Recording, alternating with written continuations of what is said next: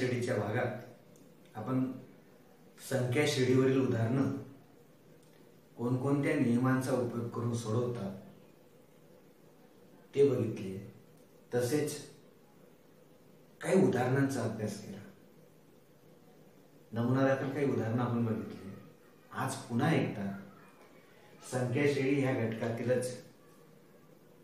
परत काही उदाहरणांचा अभ्यास या ठिकाणी आपण करणार आहोत. प्रश्न पहिला बघा.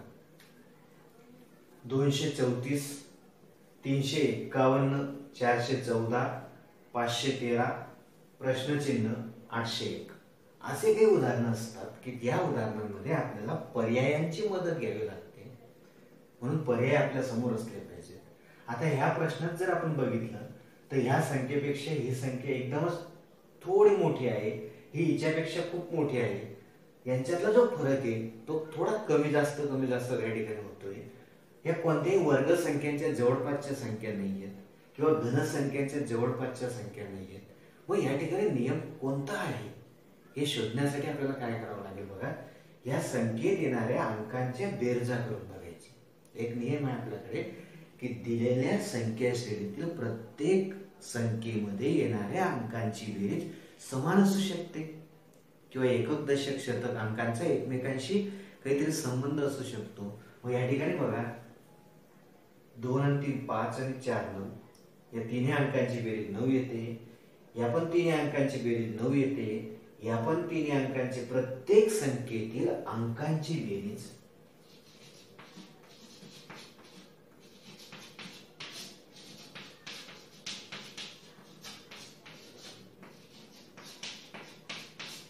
नऊ येते.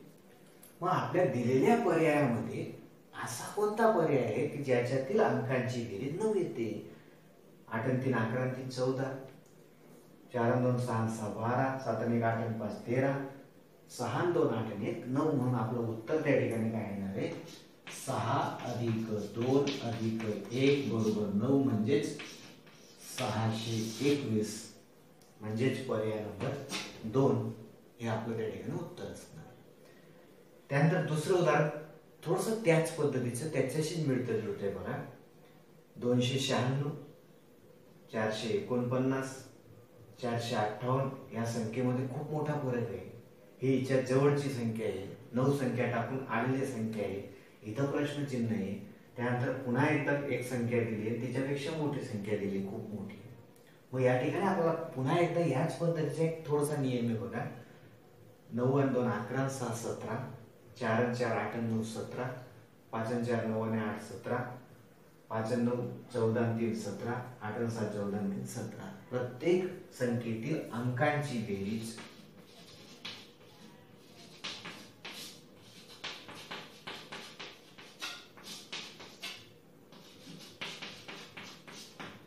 सतरा येते. मग आपल्या पर्यायामध्ये दिलेल्या कोणत्या पर्यायात संख्येतील अंकांची बेरीज सतरा येते बघा.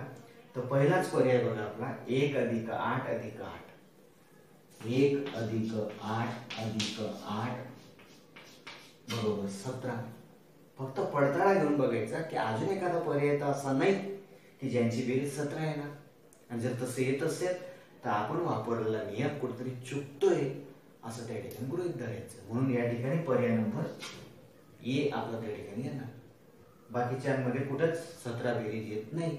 या ठिकाणी सोळा येते. या ठिकाणी अठरा येते. या ठिकाणी अकरा येते. उदाहरण नंबर तीन बघा. दोन एकवीस तीन एकतीस चार एक्केचाळीस पाच. उदाहरणावर नजर टाकताच आपल्या लक्षात आलं असेल बघा. दोन एकवीस. तीन एकतीस. चार एक्केचाळीस. आता पाच काय बरोबर एक्कावन्न किंवा दुसरी एक पद्धत बघा. या ठिकाणी आपल्याला काय दिले एक सोडून एक. दोन संख्या मालिका आहेत. या दोन संख्या मालिकांमध्ये जर बघितलं तर एक संख्या मालिका अशी आहे की क्रमाने संख्या येते.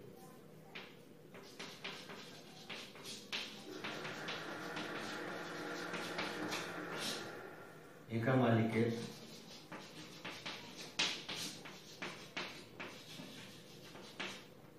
क्रमाने संख्या आहेत. तर दुसऱ्या मालिकेत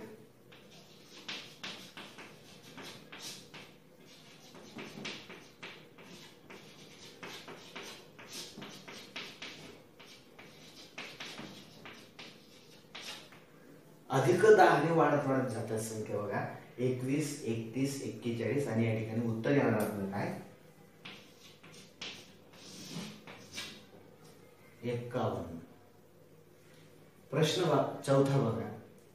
बारा पंचवीस चोवीस छत्तीस छत्तीस एकोणपन्नास अठ्ठेचाळीस प्रश्नचिन्ह. या ठिकाणी सुद्धा दोन मालिका आहेत.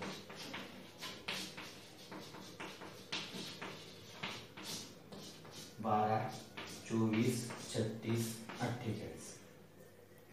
प्रत्येक या मालिकेतील जी पहिली मालिका या पहिल्या मालिकेतील बाराच्या पटीतील संख्या आहे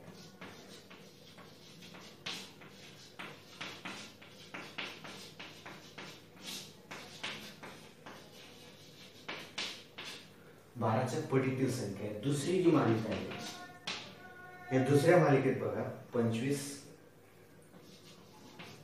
अधिक अकरा केले छत्तीस येत आहेत. छत्तीस आता बघा पंचवीस पंचवीस नंतर छत्तीस छत्तीस नंतर पुढे येते एकोणपन्नास छत्तीस अधिक तेरा केले एकोणपन्नास येते. आता एकोणपन्नासमध्ये बघा फरक किती कितीने वाढत जातोय? दोन दोन ने वाढत जातोय. म्हणजे या ठिकाणी पंधरा मिळवायला लागतील.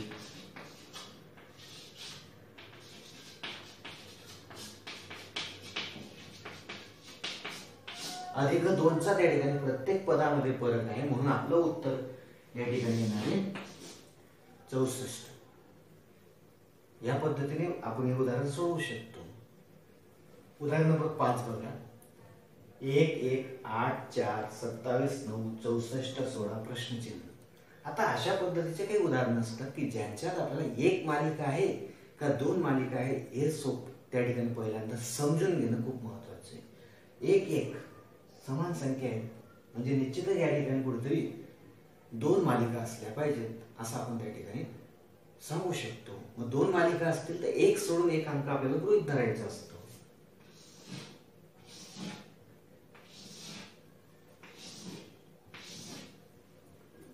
म्हणजे पहिला महत्त्वाचा मुद्दा की या ठिकाणी आपल्याला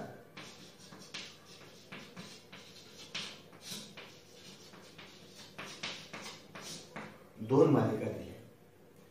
आता आपण ज्या संख्यांना गोल केलेली ती पहिली मालिका. या पहिल्या मालिकेचे जर आपण निरीक्षण केलं तर बघा एक आठ सत्तावीस चौसष्ट आणि त्याच्यानंतरची संख्या या ठिकाणी येणार आहे. म्हणजे आपल्याला जी संख्या शोधायची ती ह्या मालिकेतली आहे. म्हणजे संख्या कशा आहेत बघा? एक नंतर डायरेक्ट आठ येतोय. आठ नंतर सत्तावीस येतोय. म्हणजे फरक काही कुठं सारखा नाही. मग या ठिकाणी जर आपण बघितलं तर हा एकाचा घन आहे बघा.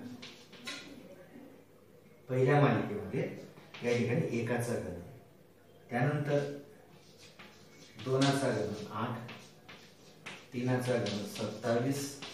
तर या ठिकाणी चाराचा घन चौसष्ट दिला आहे. एकाचा घन दोनाचा घन तीनाचा घन चारचा घन आता हे तुमचा कशाचा घन? पाचाचा.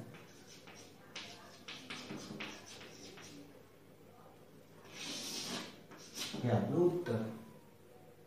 आणि दुसरी जी मालिका दिली या दुसऱ्या मालिकेमध्ये वर्ग संख्या दिल्या क्रमाने.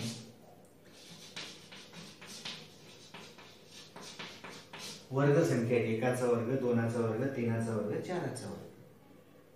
आणि या ठिकाणी सर्व काय दिलं ते घन. त्यानंतर उदाहरण नंबर सहा बघा.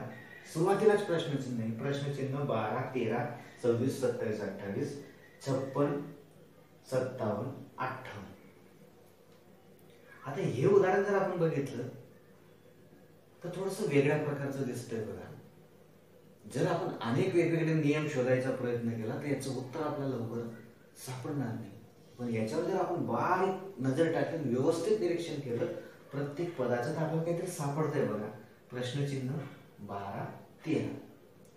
तेरा तुम्ही सव्वीस. सव्वीस सत्तावीस अठ्ठावीस अठ्ठावीस आणि छप्पन छप्पन सत्तावन्न अठ्ठावन्न म्हणजे या ठिकाणी तीन तीन पदांचा गट हे बघा.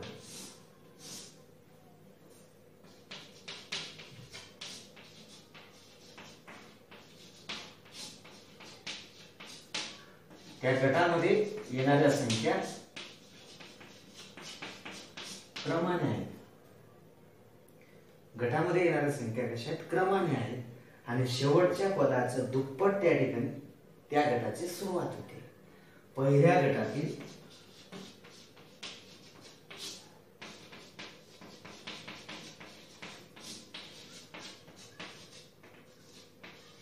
शेवटच्या पदाची दुप्पट.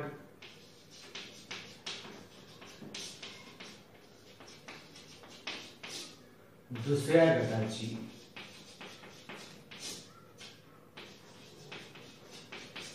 सुरुवात आहे. पहिल्या गटातील शेवटच्या संख्येचा दुप्पट दुसऱ्या गटाची काय सुरुवात आहे. बघा तीन तीनचा गट आहे. क्रमाने येणाऱ्या संख्या आहेत. मग या ठिकाणी काय असेल? बारा तेरा बारा अकरा. म्हणजे आपलं उत्तर त्या ठिकाणी येणार आहे. अकरा पुढचा प्रश्न बघा. तेरा सत्तावीस पंचावन्न एकशे अकरा दोनशे तेवीस प्रश्नचिन्ह. तेरा. याच्या दुप्पट करा. एक मिळवा. ते दोन सव्वीस आणि एक. सत्तावीस. पुन्हा बघा सत्तावीस गुणिले दोन करा चोपन्न. त्याच्यात एक मिळवा. पंचावन्न. त्यानंतर पुन्हा पुन्हा त्या ठिकाणी पंचावन्नच्या दुप्पट करा. एकशे दहा. त्याच्यात एक मिळवा. एकशे अकरा. एकशे अकराच्या दुप्पट करा. दोनशे बावीस. त्याच्यात एक मिळवा. दोनशे तेवीस. दोनशे तेवीसच्या दुप्पट करा. तुम्हाला उत्तर मिळेल बघा. दोनशे तेवीसच्या दुप्पट करून त्याच्यात एक मिळवा. चारशे सत्तेचाळीस हे आपल्या या ठिकाणी उत्तर असेल पर्यायांमध्ये. म्हणजे नियम काय वापरलाय बघा? दुप्पट करून एक मिळवला आहे प्रत्येक पदाच्या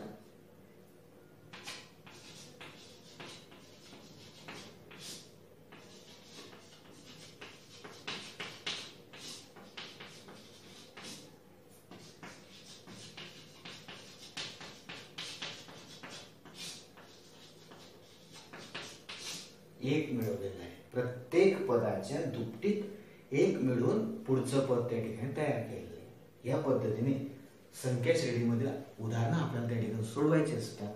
या पुढील भागात संख्या श्रेणीमध्ये आपण वेगवेगळ्या परीक्षेत दरवर्षी आलेले संख्या श्रेणीवरचे प्रश्न सोडून घेणार आहोत.